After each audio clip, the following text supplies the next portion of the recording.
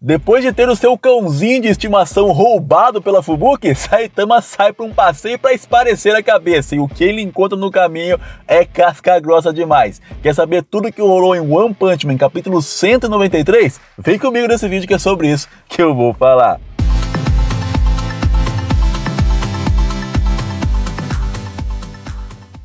Fala galera, beleza? Tô Nerd na área para mais um vídeo de One Punch Man. Hoje trazendo o capítulo 193 completaço para vocês e olha, adaptaram uma parte da webcomic que é incrível, galera. Então já vai largando o like e já vai se inscrevendo no canal Tonerd com o sininho ativado. Assim você ajuda o canal, dá aquela moral pra gente continuar trazendo vídeos de mangás e animes aqui no canal para você curtir e também reforça os vídeos de One Punch Man aqui no canal, beleza? E agora sem mais enrolação, bora saber tudo que rolou em One Punch Man capítulo 193. O nome do capítulo é Um Mundo Totalmente Desconhecido. E já vemos logo de cara o Saitama enfrentando um monstrão casca grossa, rapaz. Parece o King a cara dele, não parece? e ele diz que vai mostrar o poder do sangue de dragão pro Saitama. Ele fica gigantesco então e parte pra cima do Saitama, que dá apenas um tapão no monstro e já destrói ele inteirinho.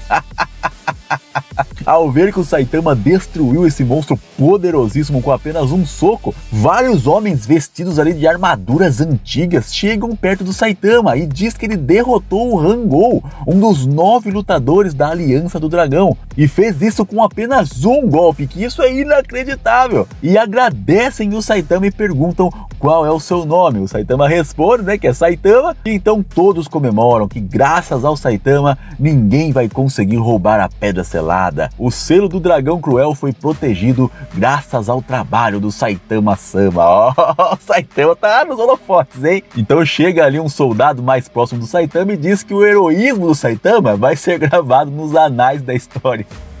E o Saitama fala que não precisa gravar nos anais, então.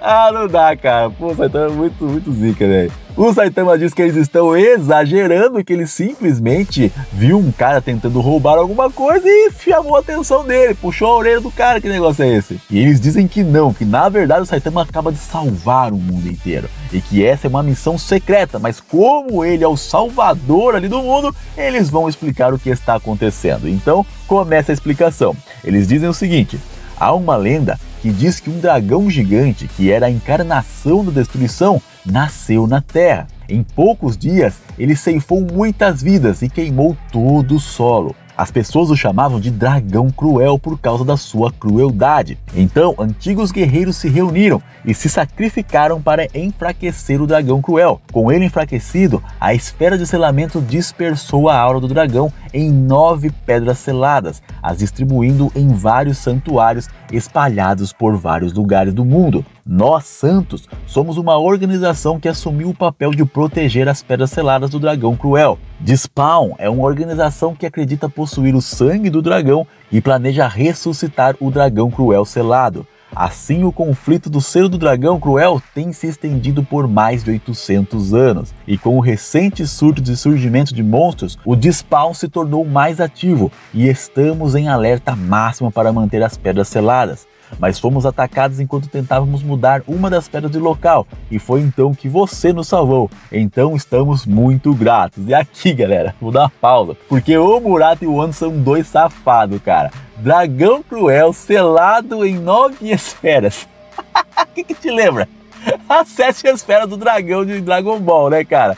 E o conflito antigo que aconteceu há 800 anos atrás. Pô, cara é One Piece na cara aqui, né? Pelo amor de Deus, o One não tem jeito, cara. Mas voltando pro mangá, o Saitama, como sempre, detesta a história porque foi muito comprida, né? Ele com o cérebro fundindo já ali. E um dos integrantes do grupo de Spawn xinga o Saitama, falando que ele venceu o Hangul Soma, mas que algum dia todas as pedras seladas serão recuperadas e o dragão cruel Sama renascerá. E esse será o fim da raça humana e de tudo que vocês protegem desaparecerá. O Saitama então pega um baldão de água, joga na cara do, do cara do grupo do Despawn e pergunta que quando que esse dia vai chegar. E o cara fala, pô, daqui uns 10, 100 anos talvez, sei lá, né? O dragão cruel está esperando calmamente o poder dos selos enfraquecer. E tenho certeza que mesmo que a Despawn seja destruída, alguém aparecerá para continuar nosso desejo e o ressuscitará. O Saitama dá outro banho no cara e o cara pergunta se ele tem outra pergunta. E o Saitama então diz que se for para ressuscitar algum dia, que ressuscite o dragão agora. E a galera ali do Santos fica tudo bravo. Como assim, ô, despertar o dragão? Tá louco, cara? Vai destruir o mundo. E o Saitama disse que não, para ficar tranquilo, suave, porque é mais seguro para o futuro do mundo se a gente ressuscitar logo e derrotar ele de uma vez por todas, não é verdade? Então ele pega o cara do grupo de spawn e pergunta onde estão as outras pedras correndo ali do helicóptero do Santos que está indo para cima do Saitama com tudo. O Saitama vai indo de tempo em tempo e vai recuperando esfera por esfera para poder ressuscitar o dragão cruel. O Saitama se depara com mais um monstro lutador de artes marciais, parece até o Ken de Street Fighter com o cabelinho cortado em forma de monstro. E esse é mais um dos nove lutadores da Associação do Dragão. Saitama dá um socão nele, crava ele na parede com muita facilidade, né? Lógico. E com isso eles conseguiram reunir as nove esferas do dragão. para ressuscitar o dragão cruel. O Saitama então pede pro cara se apressar logo, porque os Santos estão chegando ali para incomodar o Saitama. E então o cara se ajoelha e faz o ritual para invocar o dragão cruel, que aparece gigantesco com asas e quatro braços, dizendo que vai usar as vidas de todos os humanos para acabar com o rancor de longa data. E dispara um raio em direção do Saitama que simplesmente dá um murro e mata o dragão cruel.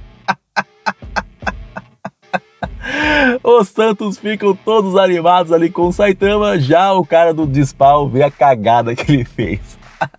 Cena corta então para o Saitama que está jogando com o King, dizendo que achava que coisas como pedras seladas e grupos religiosos estranhos eram coisas apenas dos jogos e mangás, mas que pelo visto, mas pelo visto o mundo todo ainda tem coisas que ele desconhece. O King continua ali despreocupado jogando o seu joguinho com o Saitama, então alguém bate a porta. O Saitama vai ver se é o Genos de novo, mas não, é o Flash Flash que chega na porta dele com um cartaz de procurado para Manako, pedindo a ajuda do Saitama para encontrar a monstrinha. E ele diz que se o Saitama for útil nessa caçada, ele pode até fazer o Saitama de seu aprempão. o Saitama fecha a porta da cara do Flash Flash que nem ele fez pra Fubu.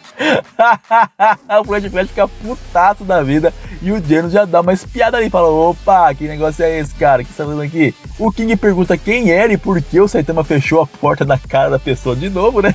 E o Saitama disse que parecia que seria algo que ia incomodar ele, então ele já resolveu.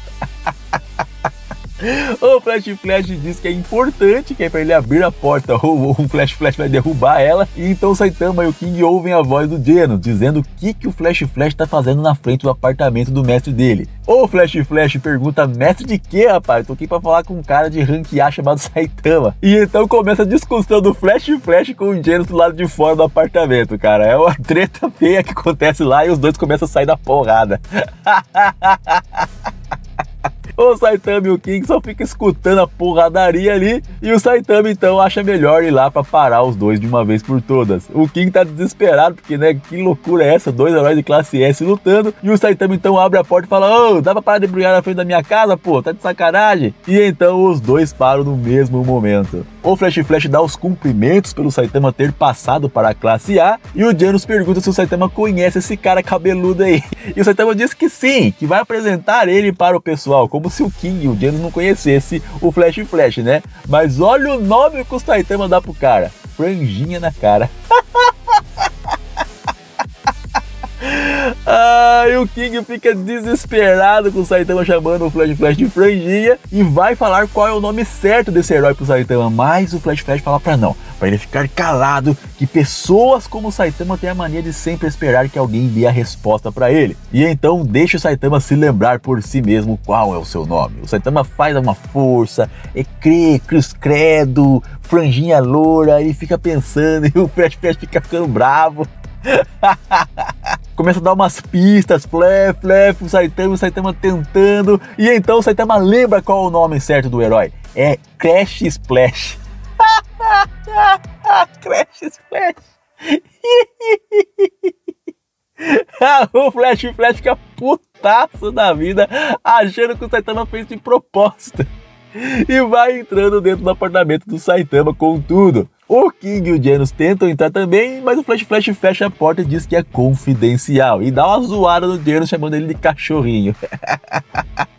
e então a gente vê o que tá rolando lá dentro. O Flash Flash fala pro Saitama ser seu discípulo, pois lá no subterrâneo ele percebeu a habilidade atlética do Saitama que tem muito potencial, mas que no momento está usando apenas metade desse potencial. E com a orientação certa, o Saitama pode conseguir evoluir muito mais. Ele não tem noção do que tá falando, é falar sério. O Geno abre uma portinhola ali na parede do Saitama e diz negado.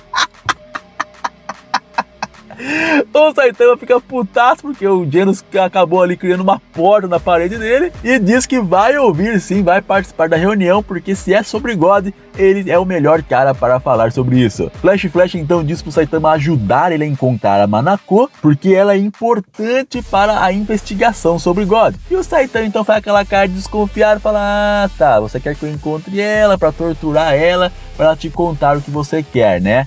Tipo, até parece que eu vou te ajudar, né, meu amigo? E o Flash Flash diz que está fazendo tudo o possível para conhecer melhor esse tal God aí com o qual o Blast luta há tanto tempo e que a Manako pode dar alguma pista para ele. Flash Flash diz ter um palpite que quanto mais pistas eles conseguirem, mais próximo eles vão chegar do segredo por trás de God e que esse segredo é tão grandioso que com certeza irá abalar todos eles. Essa frase não é à toa, tá, galera?